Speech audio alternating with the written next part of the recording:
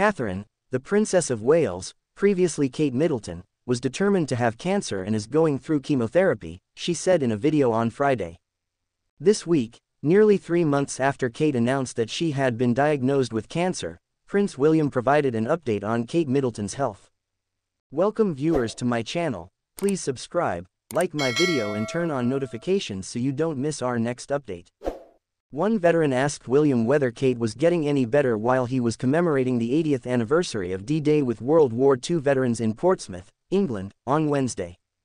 Kate, who imparts three kids to William, declared in a video message in spring that she had been determined to have malignant growth in the wake of going through stomach a medical procedure in January. The kind of cancer hasn't been made public.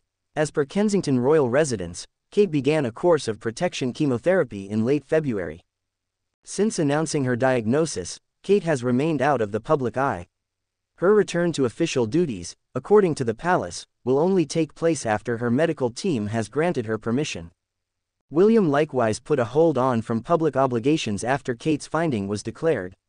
He got back to work in mid-April, visiting a charitable association in Surrey, where volunteers gave him cards of kind words for Kate. William took over for King Charles III, who was also diagnosed with cancer this year, to commemorate the 80th anniversary of D-Day.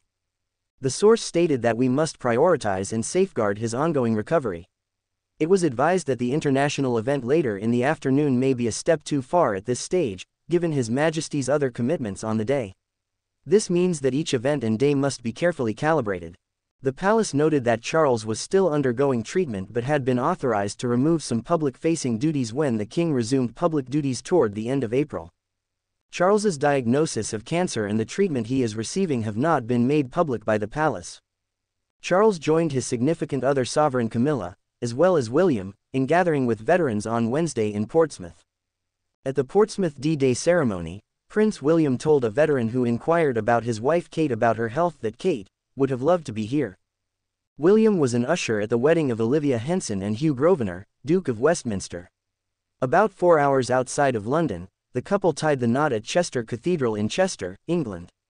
While his wife, Kate, the Princess of Wales, has remained out of the public eye since announcing in March that she had been diagnosed with cancer, William was seen mingling with guests at the wedding he attended alone. Additionally, the wedding was not attended by Harry, William's younger brother, who currently resides in California with his wife, Meghan, Duchess of Sussex, and their two children. Meghan Markle and Prince Harry celebrate Lilibet Markle's third birthday. Both William and Harry selected Grosvenor, a lifelong friend, as the godfather of their eldest children, Prince George and Prince Archie. During her treatment for cancer, Prince William provides an update on Kate Middleton's health. The types of cancer that Charles and Kate were diagnosed with have not been made public. In the wake of his wife's and father's diagnoses, William has been attending events alone in recent months, as he did Friday at Grosvenor's wedding.